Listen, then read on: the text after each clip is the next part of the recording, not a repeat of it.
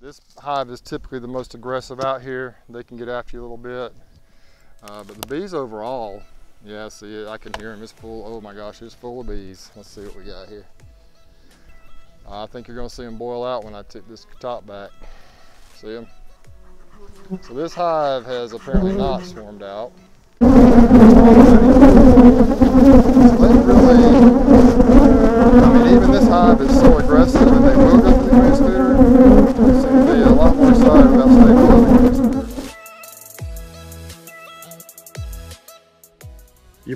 this spot here. This is where we set up the uh, queen excluder challenge uh, two or three months ago.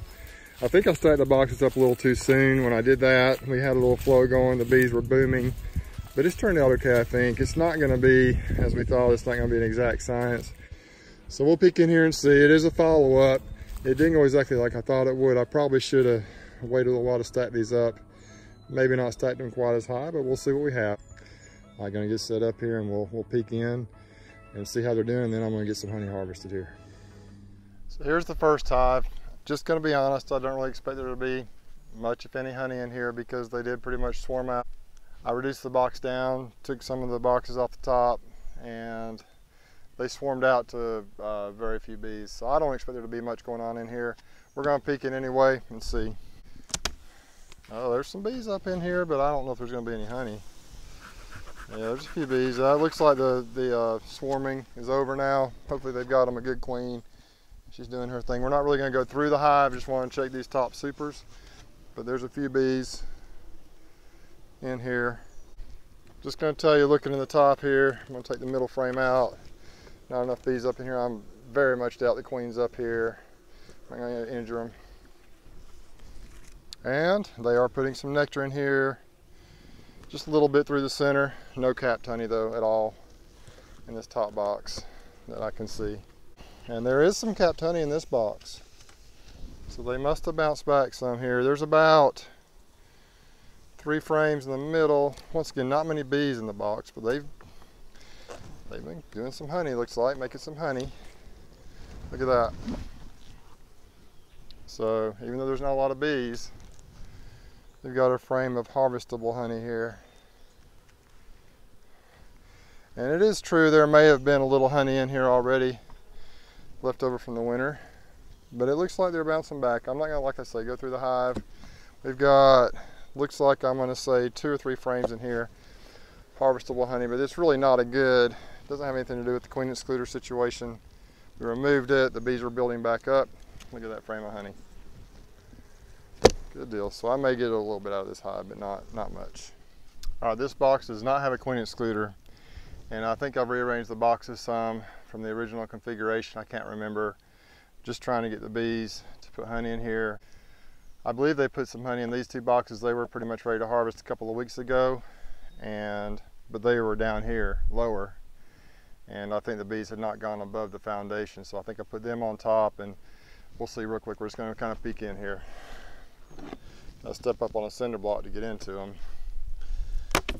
Okay, so there are bees all the way up here in the top and see the bees on the lid. And this box right here is completely full of, of uh, capped honey. I don't know if you'll be able to see in the camera, but I'm gonna, oh my gosh, it's heavy.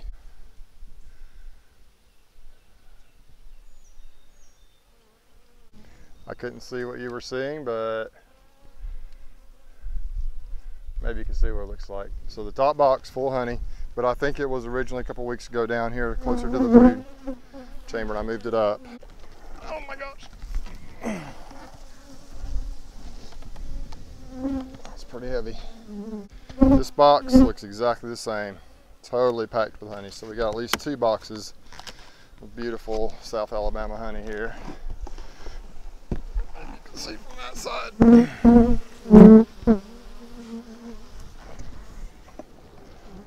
Totally full. Heavy, heavy. All right, this box. These are the ones already configured. Really not a lot going on here. Very little honey in here. It's possible this hive is swarmed as well. We've had a real swarmy season this year. There's not much in that box, and then below that is the foundation. We got two boxes of honey on here that we're gonna try to harvest, that we're gonna harvest. And beyond that, uh, they haven't done much. Actually, a little disappointed in the population this hive. I thought there would be more. So it's very possible they swarmed out as well and they're trying to reestablish themselves. Box number three, queen excluder. Queen excluder is right here. And we'll see what we have going on up above this. This hive is typically the most aggressive out here. They can get after you a little bit. Uh, but the bees overall, yeah, see I can hear them. It's full, oh my gosh, it's full of bees. Let's see what we got here. I think you're gonna see them boil out when I tip this top back. See them? So this hive has apparently not swarmed out. That's probably the bigger indicator of the amount of honey in a hive is whether or not you can keep them in the hive, keep them from swarming. Yeah, and there is white wax all the way up here in this box. See, they're kind of getting after me a little bit already. White wax on the on the lid. Top box completely full of honey. Outside frames may not be totally capped, um, but we're going to harvest it anyway, I'm pretty sure. Them coming after me? So this is the nasty hive, but they've been productive. Now I found, I don't always wear gloves, but when I harvest honey, I usually do.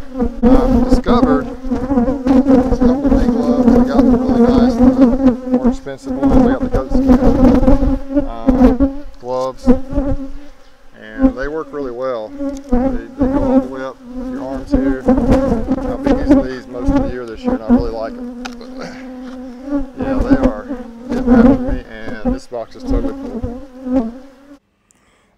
Do voiceover here because I had tried a new mic placement, and as the bees got aggressive here, you couldn't hear what I was saying, so I figured I would go ahead and do a voiceover. The top box is ready to harvest. Second box down that I'm looking in now uh, had quite a bit of nectar in it, but it was not sufficiently capped to harvest the box of honey. Uh, I believe that I put the uh, box that was on top, I think I moved it up from actually, maybe possibly from below the queen excluder a few weeks back to allow the bees um, to come on up through these next two boxes down through the queen excluder. And they come up and put quite a bit of nectar and honey. They were working on this super, just wasn't quite ready to harvest. You might wonder why I keep these aggressive bees around. I manage these bees for a friend whose main interest is the honey, and they do a great job. They're, they thrive and they do a really good job making honey. And so I keep them around. They're kind of in a remote area. They don't bother anyone, and it works out okay. This next box down, uh, the middle frame was drawn out and they were putting honey in there. It was not fully capped. They'd not done much else in the rest of the box, although they were starting to dry out some of the frames. So really nothing to harvest there. To remove this box, you can see the bees are just absolutely packed beneath the queen excluder. So even though these bees, these aggressive bees, are willing to go up through the queen excluder, they still prefer to stay below. And when I move the queen excluder here, you can see they really get after me. There's just a lot of bees in this hive, in this box below there. Um, and they just seem to prefer to stay below it. So this box had a lot of honey in it and decided to take it. There's plenty of room for the queen to lay down below that box. There's a deep and another medium down there. So decided to remove a frame here and take a look at it. You can see it's almost completely capped with honey. This is on the outside. Plenty of honey in this box. So we decided to take what honey there was and there's plenty of room below for the queen to do her thing with the brood down there. Box four, no two deeps, and I think I had a box foundation, box coming above that. The reason this brick is at an angle like this because last time I went through them, I, I, I didn't see evidence of a queen. Maybe they just requeened or superseded. So I have no idea what I'm going to see in here. It looks like there's a fair, there are a fair number of bees in the front of the hive. Uh, so I really don't know. Maybe we're going to have some honey in here, maybe not. These bees getting after me right now. We're still doing that last time, but there are some bees up here. Yeah, there's not much going on in here. Yeah, we're not going to get any honey off this box right now, but there do seem to be a fair number of bees in here, so we're not doing anything in the drum in the foundation box. And there is some honey in the box below that, but the test was for the foundation above, so um, I might take a little honey out of this box. I'm going to go through it and see. There's a fair amount of capped honey, it looks like, in there. Maybe get a few frames out of there. Or I may just leave it alone for the June harvest. Queen Excluder Challenge, uh, four hives right here. We've had to change them, reconfigure them a little bit. The bees have put honey in there. At least on these hives out here, the one that still had the Queen Excluder, the bees are through the Queen Excluder, but they're hesitant to go through the Queen Excluder. And there is some honey above it. And, this test has really not been a very good, at least not a scientific test not enough hives. We had some queen issues or some swarming issues.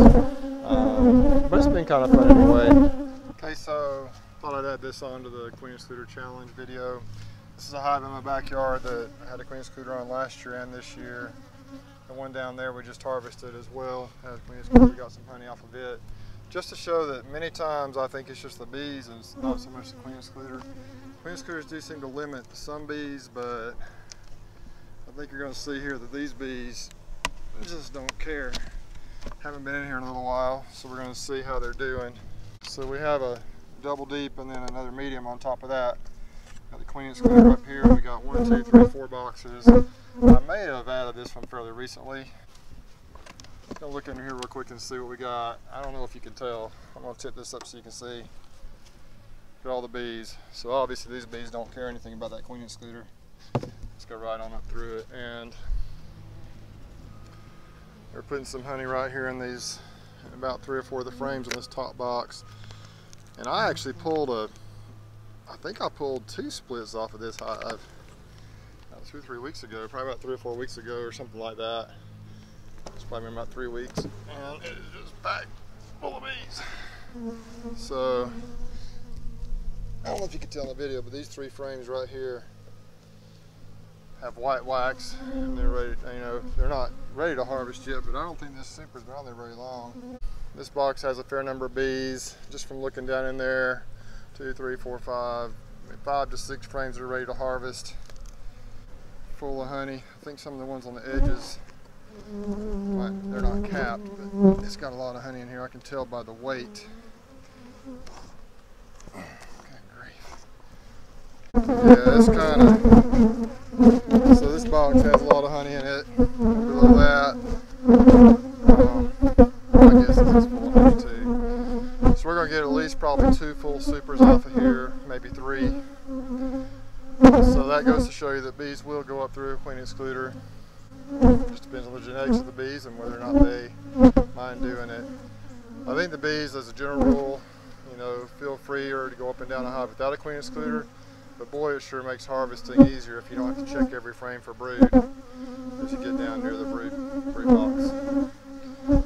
So I'm probably going to start using queen excluders a little bit more on my production hives just because of the ease of it.